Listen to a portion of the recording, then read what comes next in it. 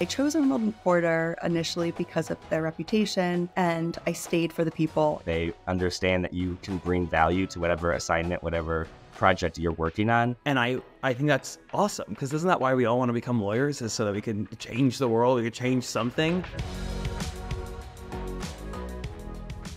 I would describe the people at Arnold and Porter as authentic, um, but also just very brilliant people at the top of their field. Very relaxed, very humble, and very approachable. I would describe Arnold and Porter in one word as collaborative. Top notch. Genuine. Engaging.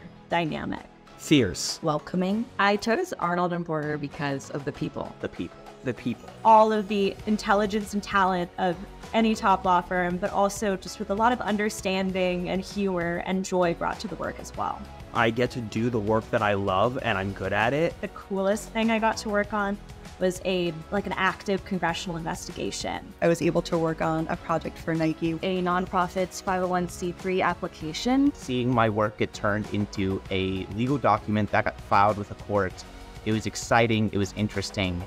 It's amazing to be part of something that could have incredible repercussions if it goes through. If we if we get what we want, it could change the system. I just would say that this summer has really been an an amazing experience.